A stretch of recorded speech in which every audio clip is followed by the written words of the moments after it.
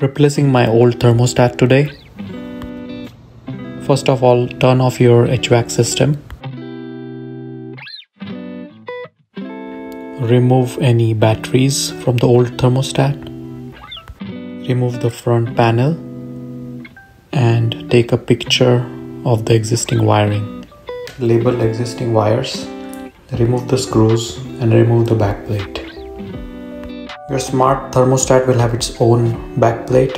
You can either screw it to the wall or use a scotch tape for drywall. Connect the labeled wires as per user's manual. And finally plug in the smart thermostat. This project took me 20 minutes. You can give it a try. Make sure you are safe and read all the instructions. Please follow and subscribe to my channel. Thanks.